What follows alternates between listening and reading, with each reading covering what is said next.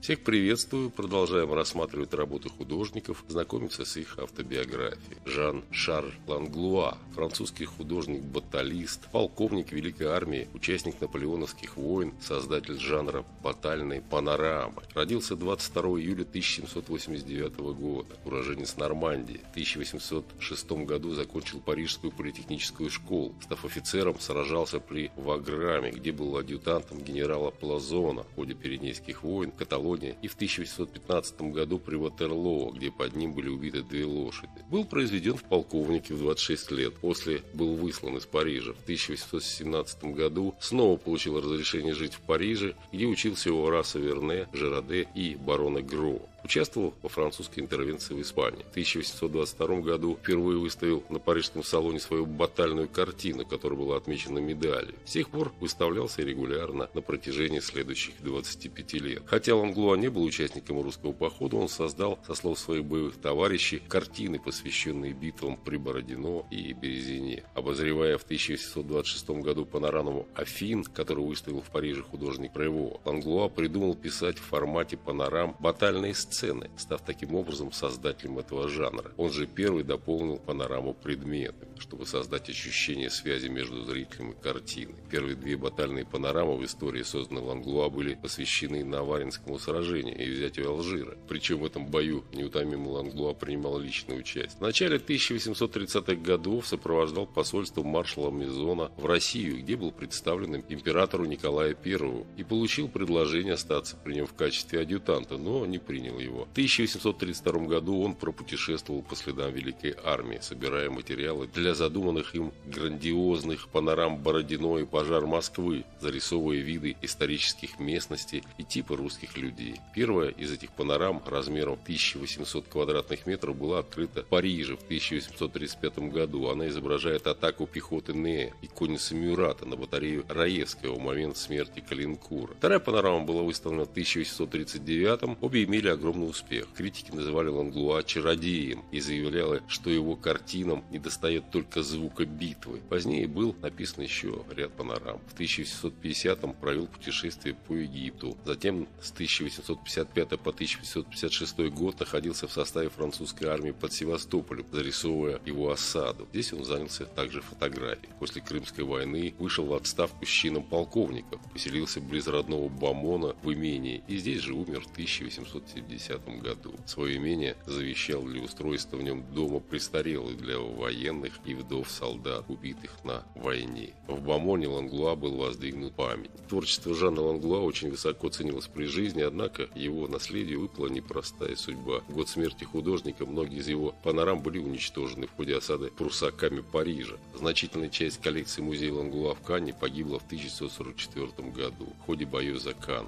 одного из наиболее кровопролитных эпизодов высадки высадки в Нормандии. В результате музей Ланглуа в Кане был упразднен, а оставшиеся работы переданы в Музей изящных искусств Канн. Многие работы Ланглуа существуют сегодня только в виде сделанных с них гравюр, черно-белых фотографий или фрагментов. И даже тот факт, что именно он, а не Франц Рубо, создал первую панораму Бородинской битвы, на сегодняшний день практически забыт. Умер 23 марта 1870 года в возрасте 80 лет. Вот так вкратце из переводной Википедии о французском художнике-баталисте, полковнике Великой Армии, участник наполеоновских войн, создатель жанра батальной панорамы, Жан Шарль Ланглуа. Пока-пока, до свидания.